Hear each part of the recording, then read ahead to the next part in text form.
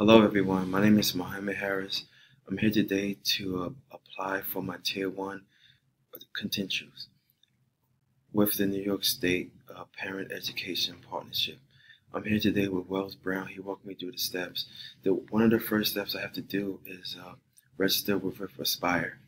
And Wells is here today to further explain what Aspire is. Aspire is the registry that New York State has developed where early childhood people and parent educators go and register their training, education, and professional experience. And um, it's a central warehouse where all of this stuff is stored and kept for um, people across the state to be able to know who is in the field, what their credentials are, and what their training capabilities are. You can also go to Aspire and you can um, look up the trainings that are being done in areas. Um, I'm not going to go through the Aspire website per se, but um, so this is a beginning step in filing for a New York State Parent Educator Credential. And Muhammad, you and I have both been working on this. Um, this is sort of the last step of the um, application process. So um, we've got some information here that has already been entered. So we entered your personal information, background information, employment history, and um, now you've been told what you need to, yeah, the hard to, copies that you need to mail to Brooklyn.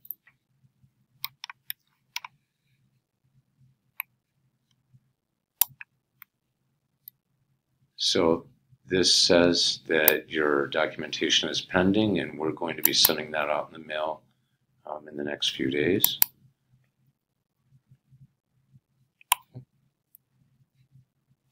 You're registering as an, for an Aspire membership. But we already clicked that.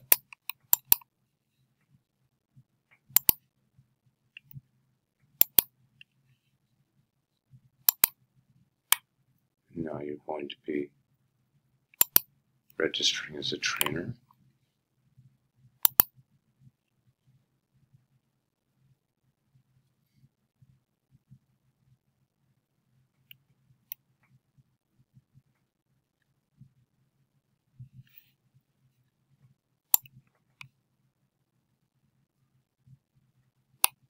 Gender. What's that? Uh, gender.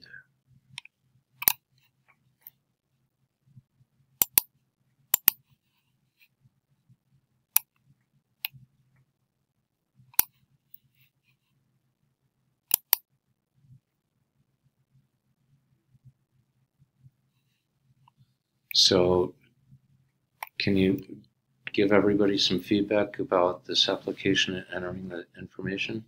Oh, the application process is quite simple. All we got to do is input a certain dates and time, and then once you do that, then they want us to verify the information we inputted. So we just got to mail any document we have that related to what we submitted and to uh, to New York to Brooklyn and then it will get back to us saying that it has been verified or unverified. It's a real uh, nice and simple process. And I know that in the in the future, um, they're looking. At, Aspire is looking at being able to um, directly upload um, this stuff, and um, save and continue. So we're going right back through again and then professional memberships.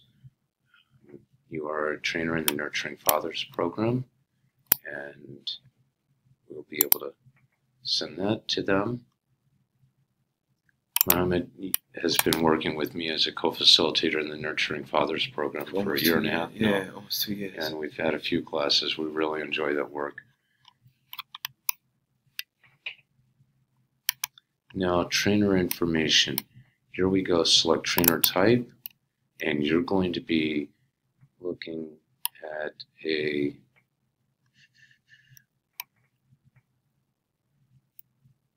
Aspire registered trainer and in Schenectady County.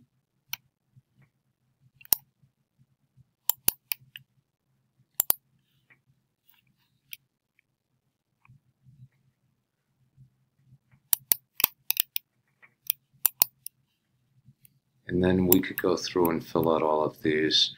Um, these areas, but we're not going to do this right now. You can see there are a bunch of. You can go back and edit this at any time. Um, core competency areas, um, which are approved to teach, and we're going to be looking for the pyramid model is really big right now.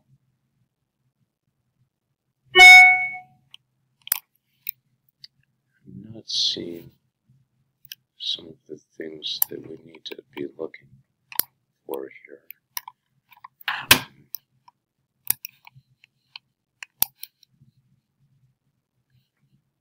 Save and continue. Hello again. Uh, we we just got finished wrapping up the application submission. We went through the personal information, education background, employment history, training received, professional membership contribution, training information, additional training qualifications, and then we submitted the application. So hope y'all stay with us while we while me and Wells go on through the journey of getting me certified to be a parent educator. So I'll see y'all again soon. See you in our next video. Peace. Peace.